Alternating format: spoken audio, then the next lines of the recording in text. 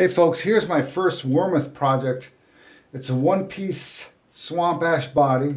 I put gun oil on it.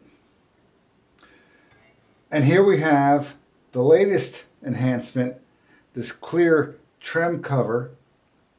Notice I did not um, do the procedure to get rid of that glob of solder on the ground there. I gotta take it apart and solder it from the other side so it isn't so unsightly.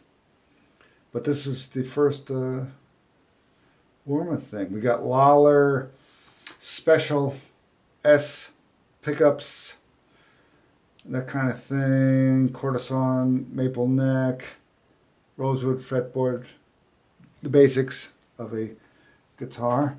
Here we have the Silver Flake Soloist.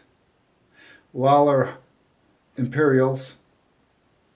Notice I got rid of that uh, unsightly solder by doing it from the other side. You, you, you, can't even see it. You can't even see the uh, ground wire.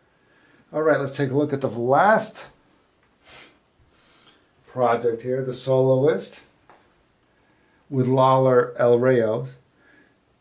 And again, uh, pretty stealth grounding on the claw with this clear plastic material from China, which is $6.99 ship, no tax. I don't know what it is.